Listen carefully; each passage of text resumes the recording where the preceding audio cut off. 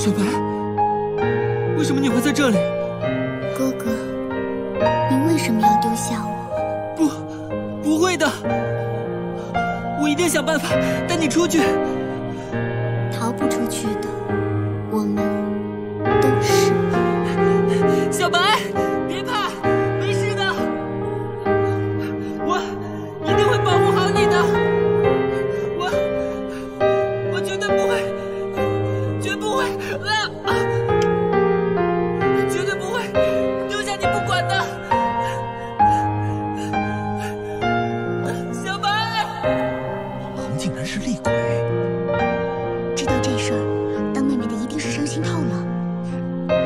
们根本不是亲兄妹。整天说大话，又爱吓唬人，老是捣蛋，到处惹麻烦，还经常骗我说会一辈子照顾我，不让人欺负我。母后，母后，母后，儿臣来看望您了。广恒，看看你妹妹吧。这就是妹妹啊！是啊，以后弟弟就是哥哥。广恒，以后你可要多。为什么？不是有母后照顾吗？我还没玩够呢。啊？因为你是哥哥。啊呃呃啊啊呃！皇后娘娘，皇后了！不要慌，娘娘，大臣们，大臣们都来了，他们全聚在大殿外，他们要干什么？他们是为公主殿下而来，说是要皇上当机立断。这是要造反吗？他们还说小公主是不祥之子，狐妖附身，狐妖不除，国无宁日。荒谬！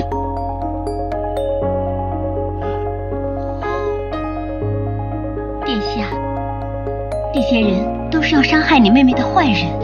母后，母后请放心，儿臣一定会保护妹妹的。王恒真是个懂事的孩子。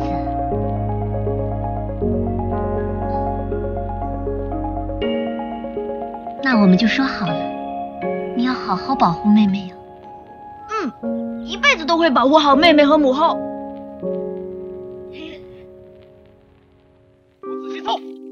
前朝余孽一个都不能放过。是。去那边，快！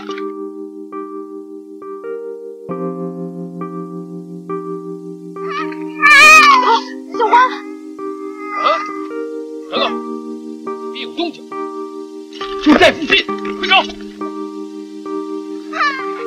我说，带你妹妹离开这里，不，你不跟我们一起走吗？照顾好妹妹，小皇唯一的亲人。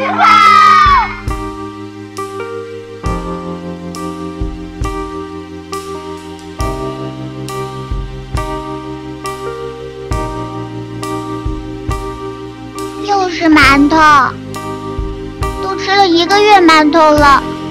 花花说馒头一点也不好吃。嗯，那我就先留着。要是你饿了的话，哎，小花，看这个，看这个，昨天捡的，给。哥，今天中秋了吧？老庙街那儿的大叔指不定会给咱们一点好吃的呢。好嘞，老庙街出发！这回一定要弄点好吃的，最好能搞只烧鸡。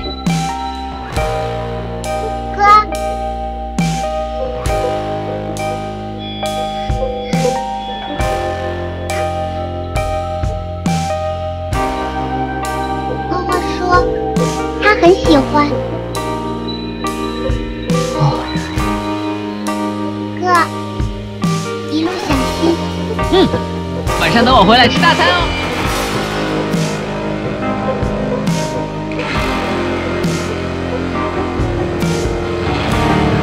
真是大丰收，没想到竟然能拿到月饼。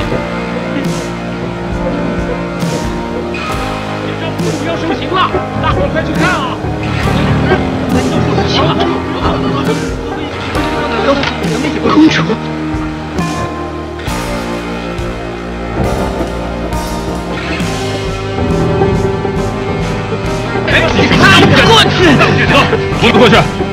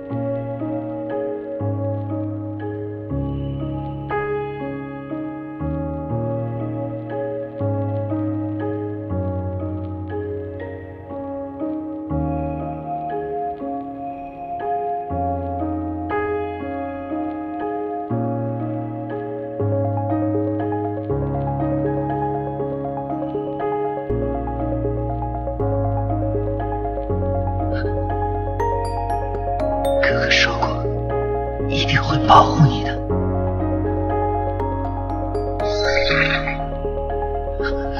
这是我们和妈妈的约定，我永远都会守护她。